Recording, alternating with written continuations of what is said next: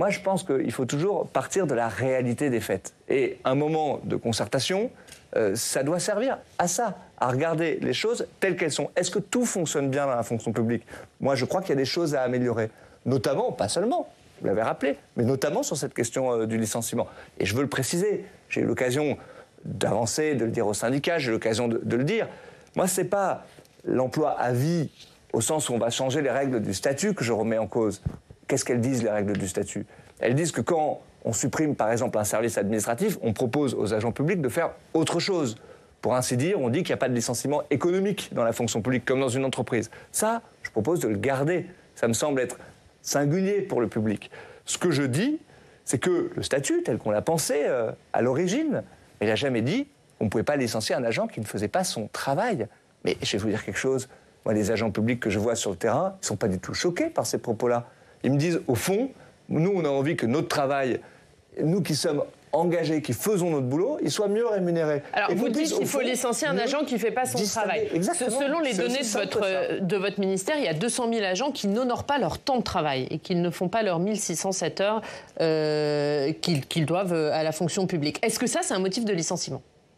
Non, bien entendu, parce que c'est une décision et c'est une organisation qui est prise avec leur employeur, en l'occurrence leur ministère. Donc moi, je ne mets pas en Mais cause. vous voulez lutter, vous, contre les agents le- publics. les, je dis les juste, agents qui ne font pas leur temps de travail. qu'il faut que tous les employeurs publics respectent la loi.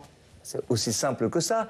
La loi, elle dit que l'ensemble des services administratifs doivent travailler 1607 heures, c'est-à-dire 35 heures Mais 200 000 par agents, c'est énorme, Mais ce chiffre. Aujourd'hui dans l'État, et j'ai fait exprès de le dire dans l'État, parce qu'au fond, l'État employeur doit être le premier exemplaire sur ces questions-là. On a demandé aux collectivités de se mettre en conformité avec la loi de 2019 et que tous les agents publics, je pense que ceux qui nous écoutent doivent trouver ça normal, travaillent 35 heures parce que c'est la loi. Et donc, oui, je travaille avec les employeurs, avec les ministères, donc ce pas les agents qui sont en cause dans cette question-là, pour que effectivement, on puisse se mettre en conformité dans Mais il y a encore l'ensemble des ministères. Mais en fait, c'est souvent des questions d'organisation et au fond une forme de pacte social. Parce que dans tel ou tel service administratif, on s'est organisé comme ça, que c'était souvent lié à la rémunération, qu'on était un peu moins bien rémunéré, mais qu'on avait quelques semaines de congé en plus.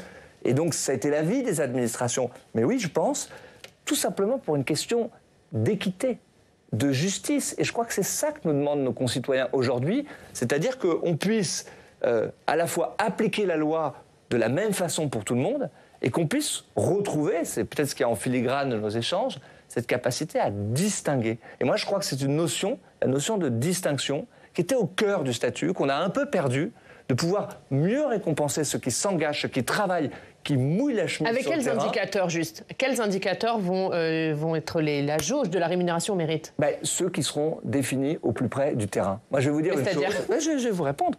Je pense que c'est pas au ministre de la fonction publique de définir le même indicateur pour tous les agents publics, c'est évident. Donc ce sera Et différencié. donc, bien sûr, il faut laisser la main aux employeurs. Moi, je ne peux pas euh, dire euh, à un moment donné, il faut redonner des marges de manœuvre aux employeurs, notamment locaux, et puis ensuite tout fixer depuis mon bureau à Paris.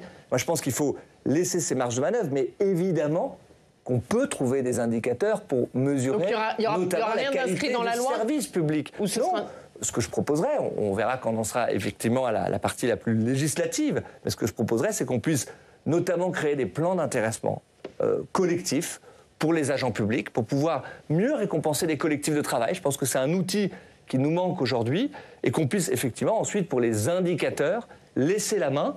Mais quand j'entends qu'on ne peut pas mesurer la performance dans le service public, je me dis que c'est un manque d'ambition pour le service public. Moi, je crois qu'on peut mesurer beaucoup de choses, notamment la qualité du service au public. Parce que n'oublions jamais que derrière la fonction publique, ce sont les services publics. Dernière question là-dessus, est-ce que vous allez supprimer les catégories A, B et C C'est un sujet que je mets sur la table. Euh, je l'ai mis dans la concertation.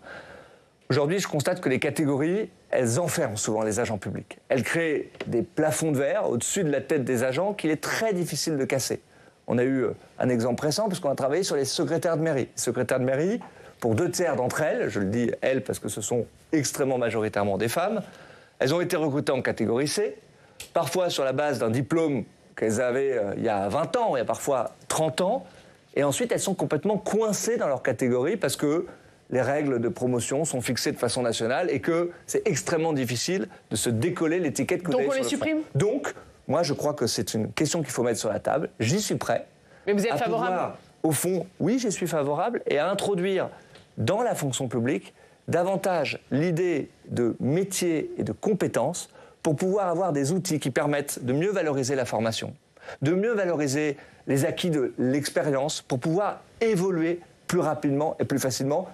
En un mot, il faut qu'on puisse casser les plafonds de verre.